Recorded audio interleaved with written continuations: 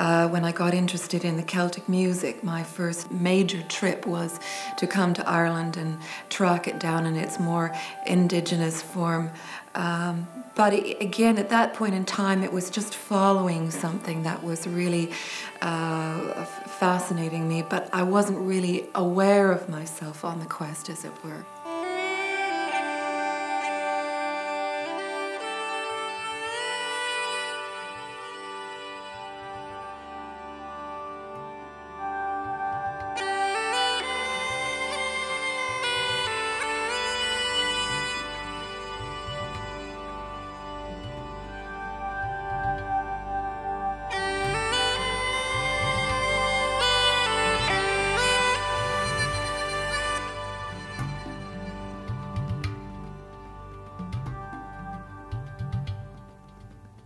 Good.